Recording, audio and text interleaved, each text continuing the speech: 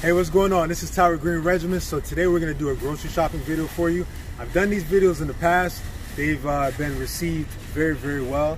But this time I'm gonna do it with a mask on, so we'll check it out. But listen, this video is gonna be all about our June plant-based challenge. So I'm gonna give you a little bit of insight into what I eat and give, give you some other options of what's out there, but of course what's plant-based. All right, let's go inside. All right, don't be alarmed, don't be alarmed. This is, this is my mask that I use when I go out in public. But listen, we're in the frozen fruit section and I want to show you some of the frozen fruits that I love to have in my smoothies every day. So we have some blueberries here. Love frozen blueberries. Got some uh, strawberries. Love those as well. And we have some frozen cherries. So every morning I do a cherry and blueberry smoothie. But yeah, definitely add these frozen fruits into your smoothie. And of course, elite protein. Now I do want you to be careful when looking at some of these frozen fruit options. Let's take this acai for example. When you look at it here, it has 12 grams of sugar. But the problem is the sugar comes from cane sugar. So instead, I would go with the zero sugar option. So we have here some plant-based meat options that I actually eat sometimes. So this Quorn, I eat them every now and then. I've tried the Alpha Burger. It's okay, but I will let you know my favorite as soon as we get to that section. Almond milk I use in all my smoothies. Sometimes coconut milk, sometimes hemp milk, even flax milk. So here's a, a plant-based section. Now I want you to check this out because it's somewhat empty. I mean, they have cleared out the plant-based options, but there's a couple brands I like here. So this Lightlife Tempeh. Now I like this tempeh. They have some other products. I don't think that I don't think are as tasty, but I like this one. Let's see what else here. We can go with oh yeah. Okay, so this seitan here. I do like this. What I do though, it's it's really salty. So what I like to do is rinse off some of the sodium that's in the sauce. But this is really good here, the seitan. It's not gluten free though. So if you are gluten intolerant, then you're not gonna want this. Follow your heart cheese. Now, as you can see, they're cleared out. But the, the kind that I like is follow your heart. It's the regular American slices. So just so you know, that vegan cheese tastes unbelievable. Of course, you need to pick up your greens. You have to, it's a must. So we have some kale here. I always add kale into my smoothies with elite protein. We have some rainbow chard, delicious. We have some collard green as well. All of these plant-based foods are great. The medicinal benefits are incredible. And every one of us needs as many greens in our diet as possible. You've been told that ever since you were a young child. And guess what? Things haven't changed. Oranges, make sure you are having your oranges. Vitamin C, you know we're dealing with this crazy pandemic right now, so as much vitamin C as possible. So they talk about eating the rainbow, and what that means is making sure that you get as many colorful fruits and vegetables in your diet as possible. A lot of antioxidants in there, so make sure you do that. So people ask me what type of snacks do I have during the day? Right here. We have almonds, walnuts, pecans. Nuts are incredible and you definitely want to make sure that you travel with the nuts. So you can pack up nuts before you go off to a, a trip to the beach, whatever you need. But these are great snack options for you. So here's a breakfast option for you. This is what I do in the morning. I'll have some steel cut oats but there's also rolled oats you can have as well, but I like the steel cut oats. And I have them with a scoop of elite protein. I love them, it works well. And then I go off to the park and work out. So right here we have some azuki bean. If you've never heard of an azuki bean, very high in protein. So I definitely eat azuki beans a couple times a week along with lentils.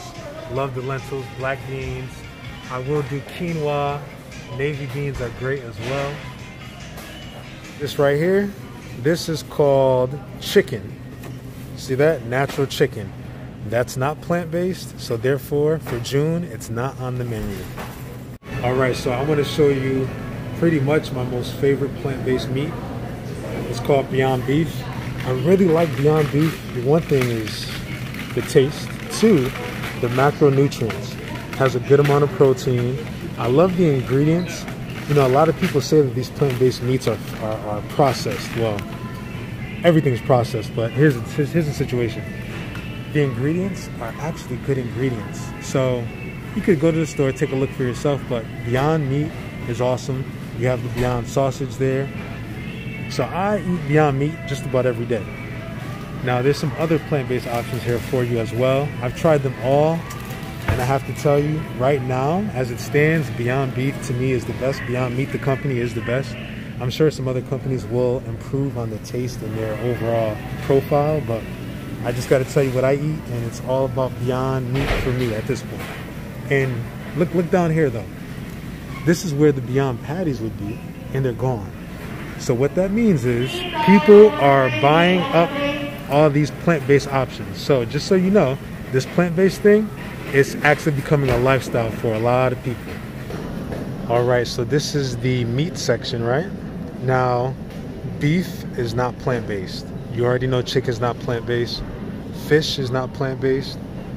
No animal products for the month of June. I have to make this statement because I am going to get the questions is this plant-based? So I want you to look because none of these items here, especially that right there, that bacon, not plant-based. So just so you know, because I'm going to get the question still, I know. So the good thing, if you can't live without these foods, don't worry because July 1st, they will be here waiting for you.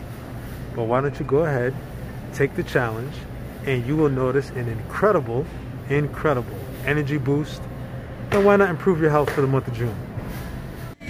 So let me show you some additional vegan plant-based snacks.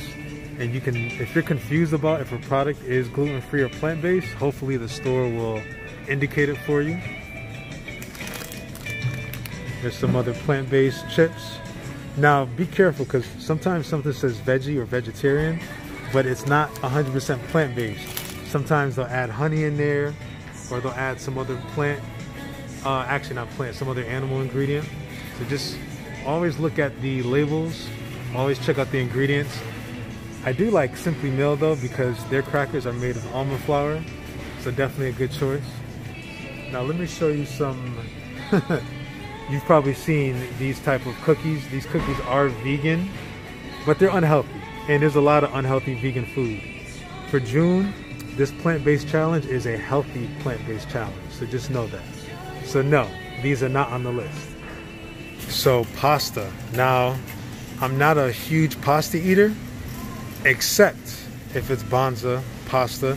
The reason why is because it's made of chickpeas. Delicious. So I would recommend Banza pasta if you're gonna eat pasta at all. Definitely the way to go. All right. So you know, last time I did this video, plant-based products were like all over the place. I mean, it was a plethora. This shopping visit, I mean, there's a few products that just were not in stock. So I'm gonna have to, I'll, tell you about those products, but just check out our Instagram stories. I'll send you, I'll show you a picture so you're able to see them. But I guess this whole meat shortage, I guess it's real. So people are buying plant-based products now. So make sure you go to the store, check out some of these options. But you know what? I guess it's a good thing. More people are eating more plant-based, and that's what I want you to do for June. Build up your immune system, get your health in order. I'll see you soon.